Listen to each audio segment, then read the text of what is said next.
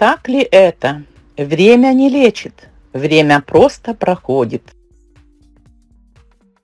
Но вот лечит или не лечит, здесь можно поразмышлять. И, как всегда, я прочитал интересное стихотворение по этому поводу Екатерины Бархатовой, называется «Время не лечит». Вот эта писательница, у нее мнение то, что время не лечит. Давайте попробуем сейчас вместе подумать над этим. Я хотел бы прочитать ее стихотворение, как это у меня в жизни было и как я к этому отношусь. Итак, она говорит, а время не лечит, время просто проходит. Лечит аэропорты и города, лечит веселый нрав и тот, кто приходит. Я немножко видоизменил ее стихотворение, как мне это кажется. Я, и поэтому я по-своему смотрю на это дело. И здесь я сделал немножко поправки свои. Значит, лечит веселый нрав и тот, кто приходит в жизнь твою и остается в ней навсегда. То есть человек, когда рождается, у него в жизни приходят очень много событий различных людей. И если человек, например, нашел Бога, а я верующий человек,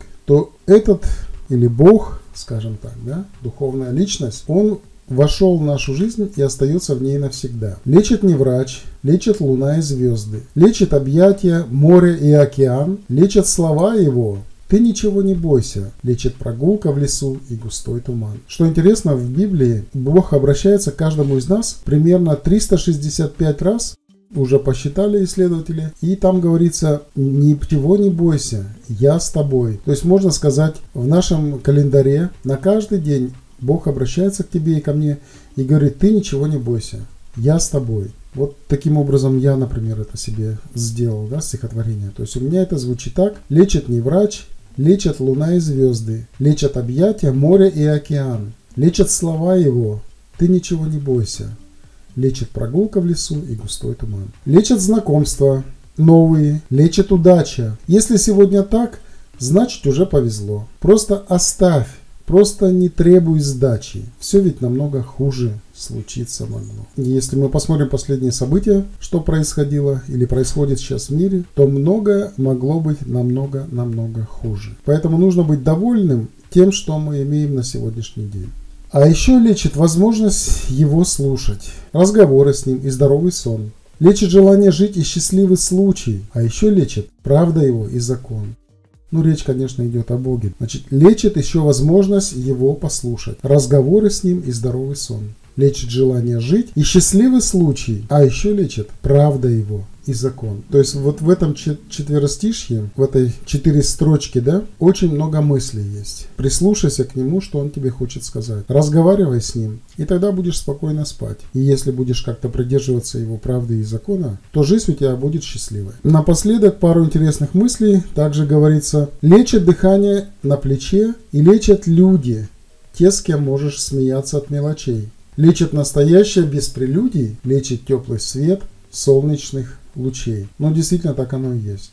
Если у тебя есть люди, с которыми можешь поговорить, пообщаться, посмеяться, и солнышко летом сейчас, и зимой, когда оно светит, ты прогулку делаешь э, и наслаждаешься жизнью, то, конечно, это все лечит и лечит и лечит. Тем более сейчас по всему миру очень много психических заболеваний. У нас, например, здесь на Западе э, количество психических заболеваний резко увеличилось, ну и в других странах тем более тоже, где жизнь резко стала хуже, а уровень жизни после этой пандемии упал во многих частях мира. Об этом статистика говорит. И поэтому, если немножко переключить свое внимание на людей, радоваться мелочам, радоваться солнечным лучам и поменьше концентрироваться на плохом, то все равно это все будет как лечебная такая терапия для каждого из нас. И может вылечить горький кофе или напиток, который тебя опьянит. Вылечить может тот, кто всего дороже. Бог, который в тебе звенит. То есть здесь я не совсем, конечно, согласен и может вылечить горький кофе, но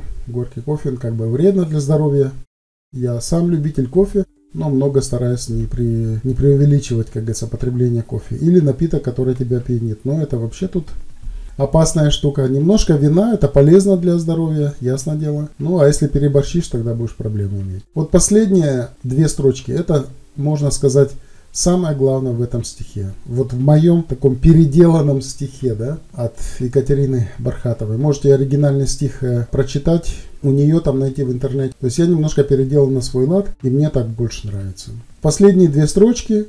Вылечить может тот, кто всего дороже. Бог, который в тебе звенит. То есть, э, действительно, он дороже всего. Если мы, у нас есть хорошие отношения, то это для нас дороже, дороже всего. Ну а почему он в нас звенит колокол, как бы внутри, да, в каждом человеке есть такой колокольчик или сердце, да, где он звенит и призывает нас обратиться на его зов, потому что он э, недалеко от каждого из нас, ну, чтобы мы проснулись, да. Многие люди находятся в такой спячке, проводят жизнь в этой спячке, в такие, как что связано с духовной сферой, с верой в Бога или там всякие пророчества, да, что будет в будущем, что с нами произойдет и так далее и тому подобное. Это очень интересная информация, которая в той же Библии можно найти, да, но многие люди, они, их это абсолютно не интересует. Ну, это каждый должен сам себе выбирать, никто никого не критикует, поэтому каждый идет своим путем по жизни, каждый по-своему прав. Итак, с вами был Виктор Балет. Подпишись на мой канал. До следующего ролика опять какую-нибудь интересную мысль, если где-то что-то прочитаю, обязательно запишу. Я так время от времени кто-то где-то прочитываю, что касается меня, моей жизни. Ну, иногда вот так могу перефразировать какое-то известное произведение или стих уже на свой лад. Тем более, что я тоже, в общем-то, люблю писать стихи. Пока-пока. Всего доброго.